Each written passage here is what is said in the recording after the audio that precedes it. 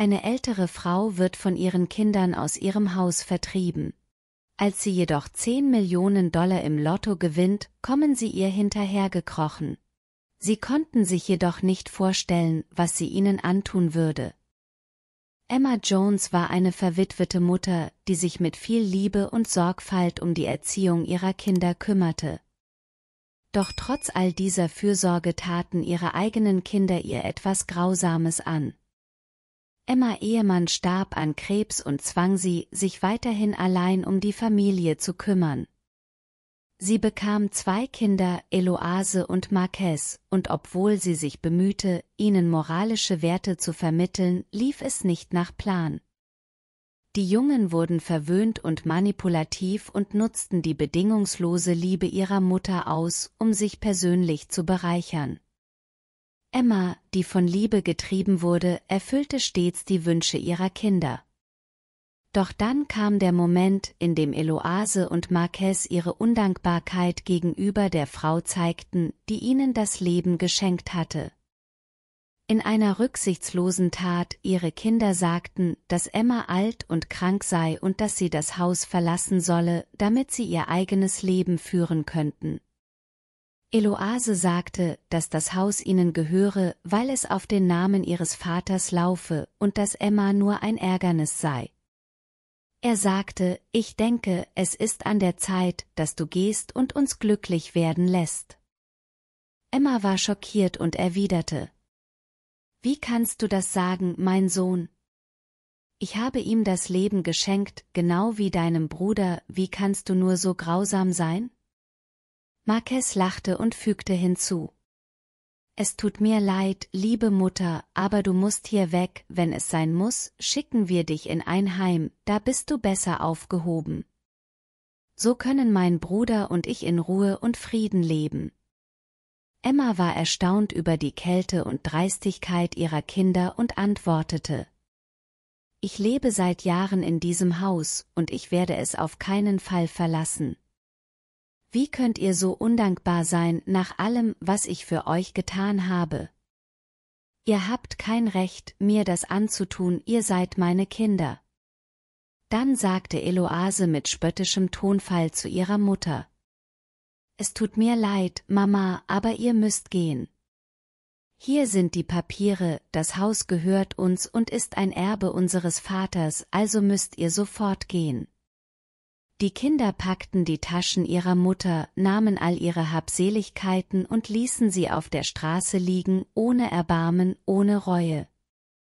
Dann sagte Marquez sarkastisch. Kommt nie wieder hierher, von jetzt an seid ihr für immer weg. Wir werden alle Schlösser auswechseln, damit du dieses Haus nie wieder betrittst, auf Wiedersehen, liebe Mutti. Emma verließ das Haus mit ihrem Koffer, ging ziellos umher, war traurig und weinte viel. Eloase und Marquez feierten und gaben eine Party, weil sie glaubten, dass sie das Haus bekommen hatten, aber das Schicksal würde diese gierigen Geschwister bald bestrafen. Emma ging eine dunkle und verlassene Straße entlang, trotzte der Kälte und dem Regen, während sie weinte und eine tiefe Traurigkeit empfand. Die Zeit verging und Emma lebte schließlich als Bettlerin auf der Straße, ernährte sich von Essensresten und schlief auf Brücken. Doch das Schicksal lächelte bald wieder und brachte ihr Hilfe.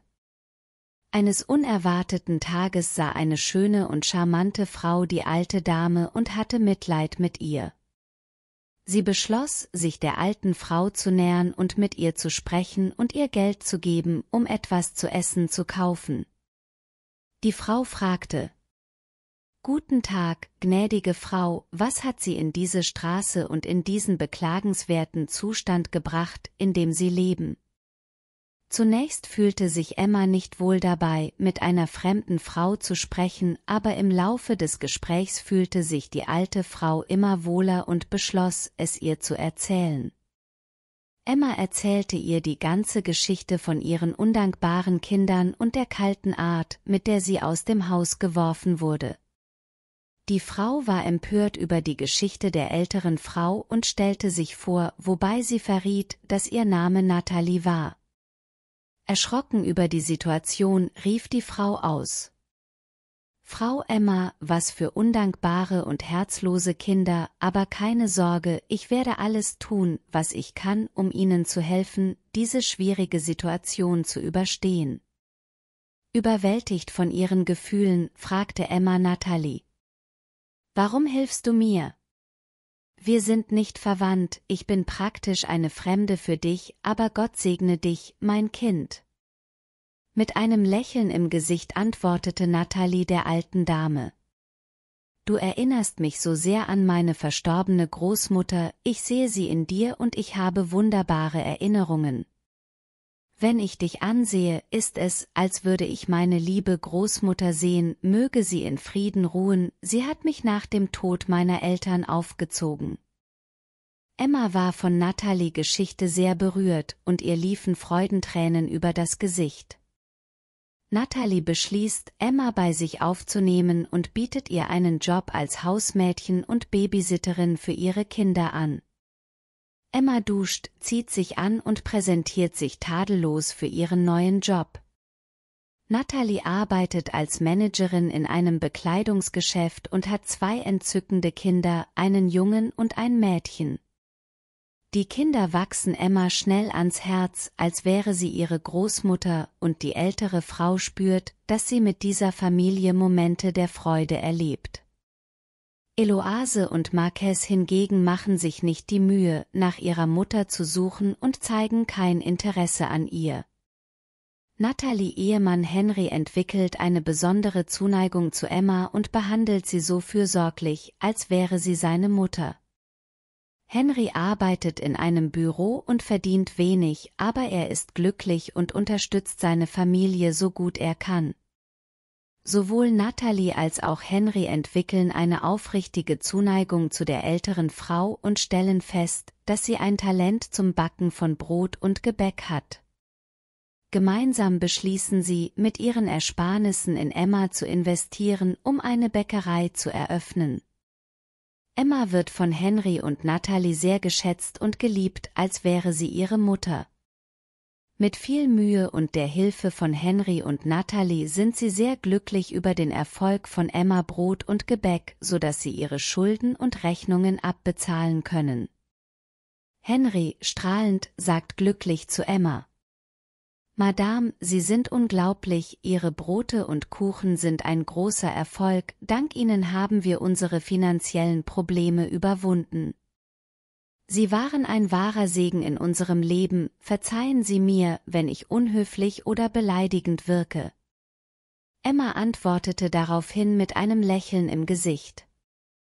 Keine Sorge, Herr Henry, Sie haben nicht gelogen, Sie haben nur die Wahrheit gesagt. Leider haben wir uns unsere Kinder nicht ausgesucht, das Leben hat sie uns geschenkt und wir hatten keine Wahl, aber es sind meine Kinder und ich hoffe, dass sie sich in ihrem neuen Leben gut entwickeln. Obwohl ich zugeben muss, dass ich ihnen das Übel nehme und von ihnen enttäuscht bin. Henry lächelte und sagte, es ist nicht deine Schuld, du hast alles für sie getan, du hast sie geliebt, du hast sie erzogen und sie sind ihren eigenen Weg gegangen.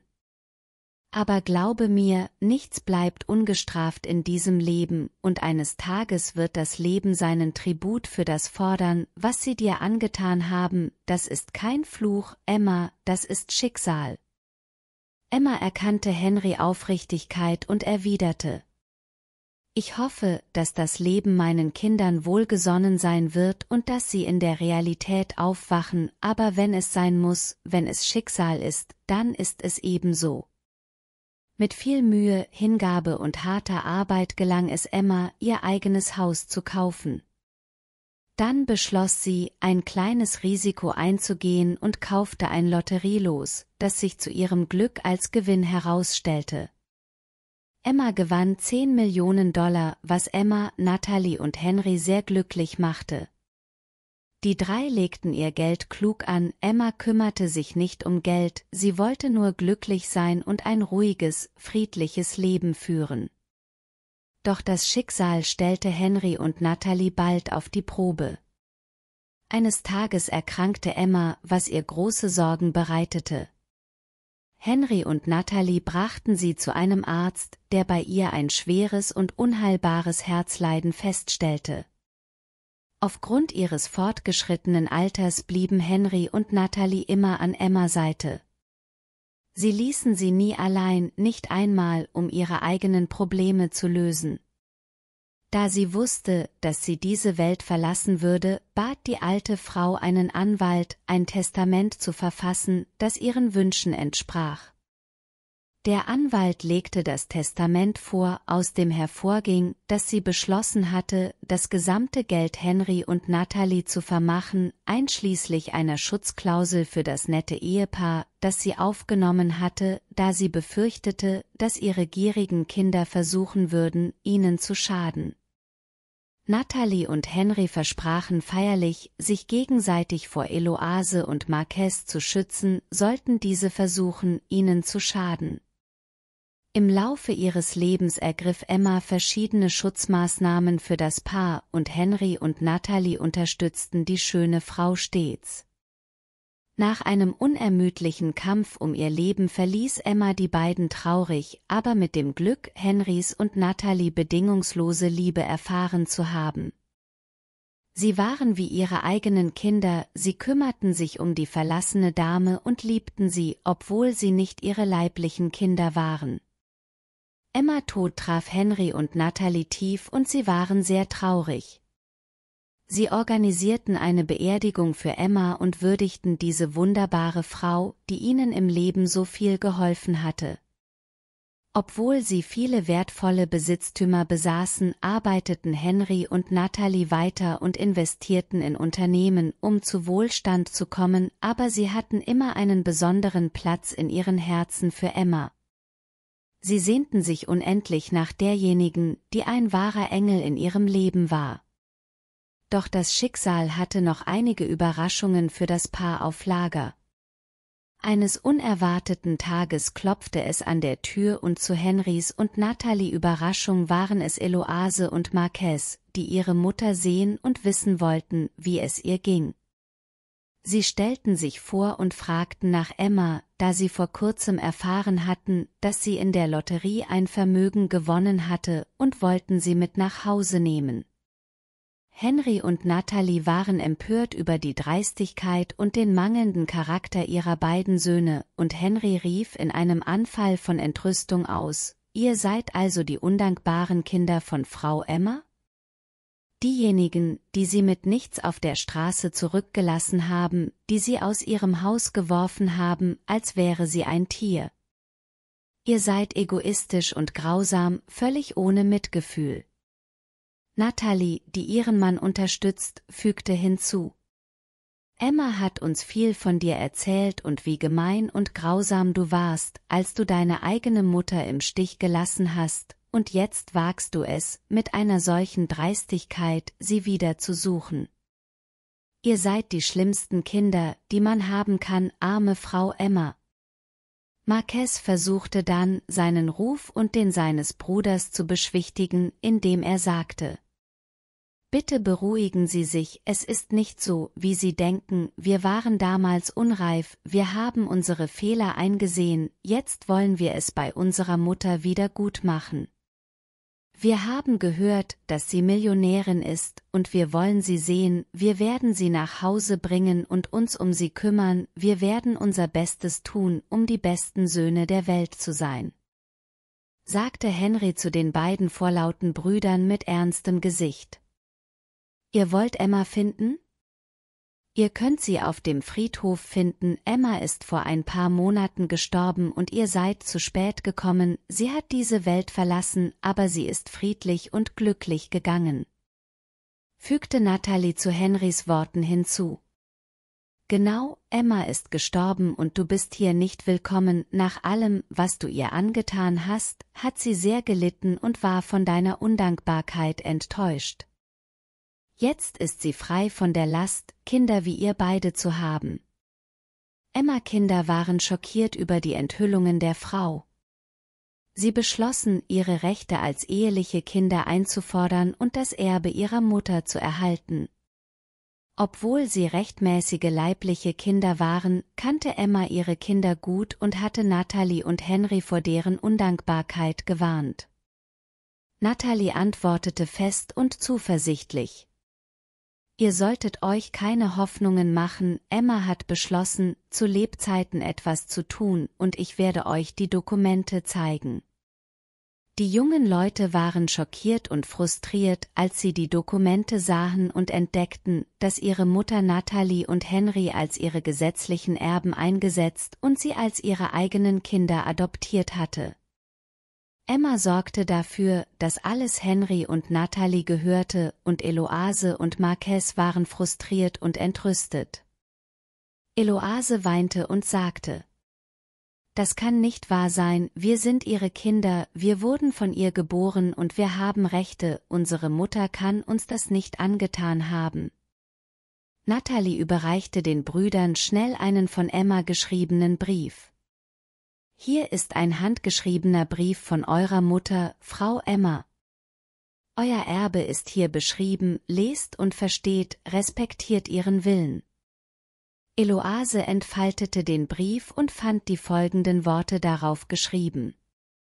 Meine geliebten Kinder, ich fühle, dass ihr undankbar und grausam zu mir gewesen seid, ich habe euch Liebe, Zuneigung und Erziehung geboten, aber ich wurde gnadenlos verstoßen, als wäre ich ein verlassenes Tier. Andererseits waren Henry und Natalie, auch wenn sie nicht dieselbe Blutsverwandtschaft haben, mehr wie Kinder für mich als ihr beide. Deshalb habe ich beschlossen, jedem von euch nur ein Auto zu hinterlassen und sonst nichts. Mein Wille muss respektiert werden, denn Henry und Natalie haben mich aufrichtig geliebt, als ich noch lebte. Sie haben diese Belohnung verdient, nicht ihr. Ihr müsst für die Dinge kämpfen und ihren Wert lernen. Während meines Lebens hast du mich nicht wertgeschätzt, und Geld in deinen Händen würde nur verstärken, was du bereits bist, und ich kann nicht zulassen, dass du deinen Weg verlierst. Henry und Natalie sind würdig und werden immer in meiner Erinnerung bleiben, ich liebe euch meine Kinder, aber ihr verdient nicht, was ich erreicht habe. Lebt wohl, meine Kinder, geht weiter, arbeitet und baut euch euer eigenes Leben auf, Gott segne euch, in Liebe, Emma. Eloase und Marquez waren frustriert und drohten, Natalie und Henry zu verklagen, doch das Ehepaar ließ sich nicht beirren und warf die undankbaren Kinder gnadenlos aus dem Haus. Die beiden Brüder waren am Boden zerstört und dachten über die Grausamkeit nach, die sie ihrer Mutter angetan hatten, während das Leben ihnen eine schmerzhafte Lektion erteilte. Währenddessen lebten Natalie und Henry in Frieden und Harmonie, hielten sich an Emma Lehren und widmeten sich der Betreuung ihrer Kinder, um ihren Geist frei von Korruption und Ehrgeiz zu halten. Eloase und Marquez hingegen schätzten das, was sie hatten, nicht, verkauften ihre Autos und verloren, da sie keine Berufserfahrung hatten, ihr Haus und alles, was sie besaßen. Nun bettelten sie auf der Straße und lebten von Essensresten. Sie bedauerten ihr Verhalten gegenüber ihrer Mutter zutiefst und wünschten sich, sie hätten anders gehandelt. Nur die Erinnerungen an Frau Emma blieben, während Henry und Natalie in ihrem Geschäft florierten und die Früchte ihrer harten Arbeit und Mühe ernteten. Sie erzogen ihre Kinder zu guten Menschen und hielten Emma Lehren in Ehren. Einmal im Monat besuchte das Ehepaar Emma Grab, würdigte sie und erinnerte sich liebevoll an die gütige und mitfühlende Frau, die ein Engel in ihrem Leben gewesen war.